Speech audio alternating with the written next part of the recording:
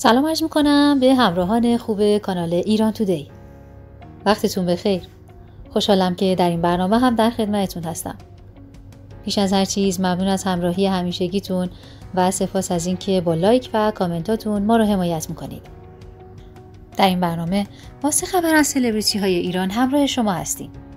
از ابتلای احسان علی خانی به کرونا گرفته تا تغییر چهره فاحش محسن رضایی و پیشنهاد جالب مهران مدیری به امیر مهدی ژوله لطفا تا پایان همراه ما باشید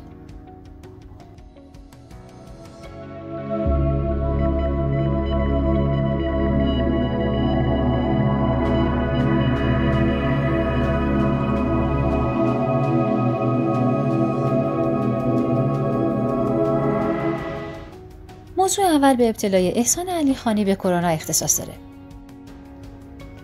با شیوع بیماری کرونا و ابتلای تعداد زیادی از مردم به این ویروس، هنرمندان و چهره های مشهور بسیاری از ابتلای خود به این بیماری خبر دادند.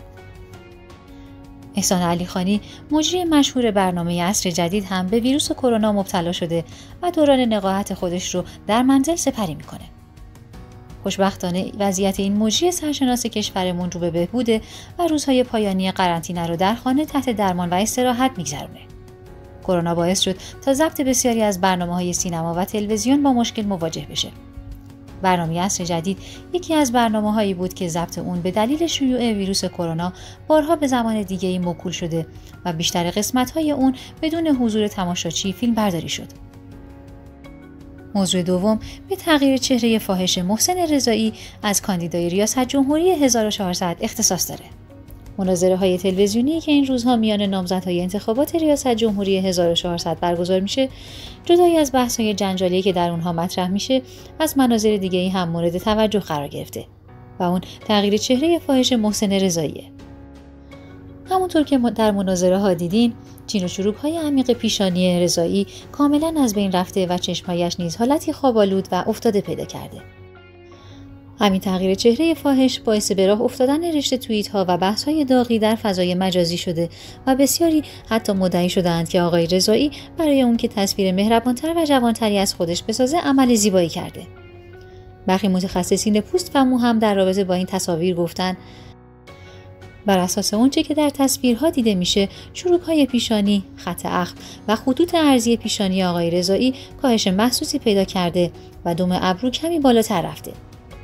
طبق گفته این پزشکان محسن رضایی برای کاهش عمق چروک های پیشانی خود از داروی بوتولونیوم توکسین A یا بوتاکس استفاده کرده. ماده که استفاده زیاد از اونها باعث میشه تاج ابرو به سمت پایین حرکت کنه و دوم ابرو اندکی بالا بره. چهره و چشم ها حالت خواب آلودگی می‌گیره به جای خط اخم خط ارزی روی پل بینی ایجاد میشه بدون اینکه در پیشانی چنین حالتی اتفاق بیفته علاوه بر این همونطور که در تصاویر هم دیده شده جنس موهای آقای رضایی هم تغییر کرده و در مناظره های که اخیرا پخش شده علاوه بر اینکه دیگر رنگ مشکی پرکلاقی سابق را نداشت کمی نرمتر و ابریشمی تر دیده میشه. البته دیدار محسن رضایی با عبدالله اسکندری چهره پرداز سینمای ایران که اخیرا تصاویر مربوط به آن هم منتشر شده این گمان زنی رو در ذهن بسیاری از افراد به وجود آورده که آقای رضایی احتمالا قصد دارند از راهنمایی های این چهره پرداز کار برای بهبود ظاهر خودش استفاده کنه.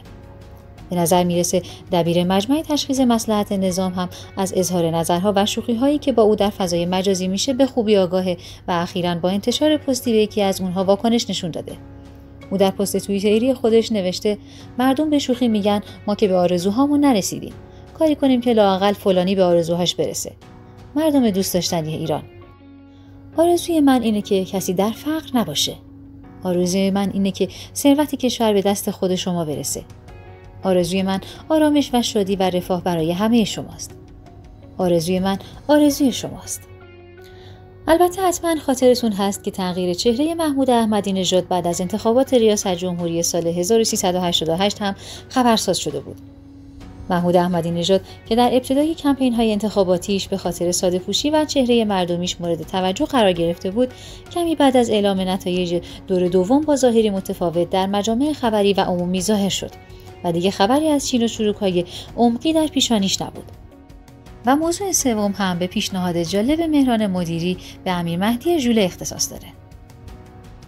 امیر مهدی ژوله که علاوه بر نویسندگی تجربه بازی در چند سریال و فیلم رو هم داره برای اولین بار بازیگر مهران مدیری در سریال دراکولا میشه سریال دراکولا به تهیه کنندگی و کارگردانی مهران مدیری یکی از سریال های تنز در حال پخش شبکه نمایش خانگی که بازیگران مطرحی در اون حضور دارند.